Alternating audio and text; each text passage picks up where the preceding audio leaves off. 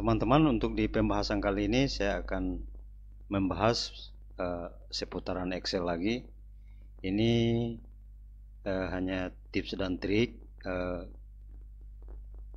uh, cara membuat rata kiri kanan di Excel. Nah, kita langsung buka saja Excelnya.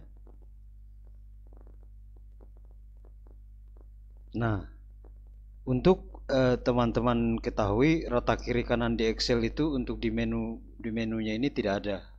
Yang ada ini hanya rata kiri kan rata kiri, rata tengah dengan rata kanan. Ya, misalkan ini saya ketik uh,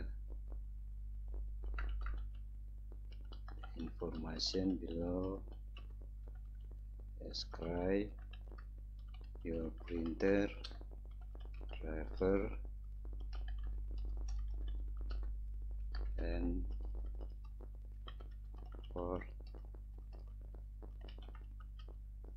setting. Nah, oke. Okay. nah misalkan ini teman-teman uh, saya mau buat rata kiri kanan. Nah ini kan seperti ini ya.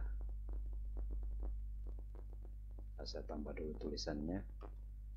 Uh, if you can this formation uh, you have correctly.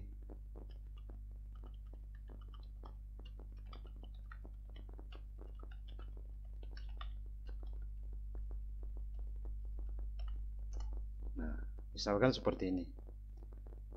Ini kalau untuk pengetikan di Word nah, misalkan di Word kalau di Word ini kan fasilitasnya sudah disiapkan.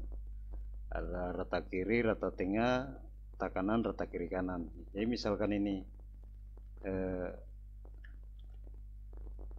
tulisannya ini berada di di Word. Ini dia sudah tidak susah. Sisa ini kita rata tengah rata kanan terus rata kiri kanan. Ini rata kiri. Nah kalau untuk di Excel ini dia memang masih agak gampang-gampang susah nah ini rata kiri. Terus dia posisinya berada ini. Ini rata kanan ini rata tengah ini rata kiri. Nah bagaimana caranya supaya ini dia uh, posisi rata kiri kanan? Nah caranya uh, kalau saya biasa cara yang saya pakai cara sederhana saya munculkan saya munculkan ini di sini ikonnya supaya nanti sisa saya kerja sisa saya klik-klik. Nah, cara munculnya kasih munculnya bagaimana? Klik ini di sini ruang kosong cari klik kanan customize.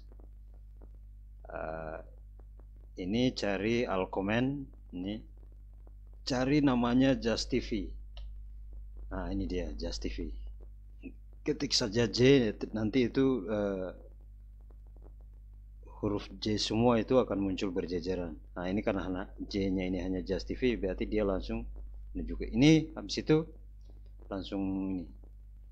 Habis itu langsung klik kanan dua kali. Nah dia rota kiri kanannya sudah muncul. Nah, kalau sudah seperti ini berarti kita ketik apa pun itu sudah bisa rata kiri, rata tengah,